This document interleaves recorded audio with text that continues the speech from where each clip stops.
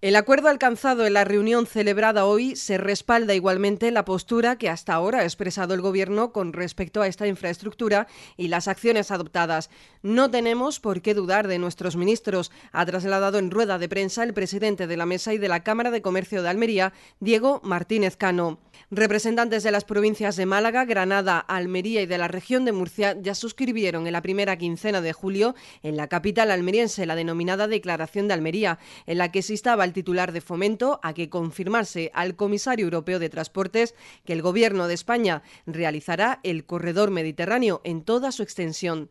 Entre los agentes económicos y sociales que se sumaron a la iniciativa figuran las cámaras de comercio de Almería y Motril, las confederaciones empresariales de Almería, Granada y también de Motril, o la Caja de Ahorros del Mediterráneo de Murcia, así como las organizaciones sindicales, UGT y comisiones obrera.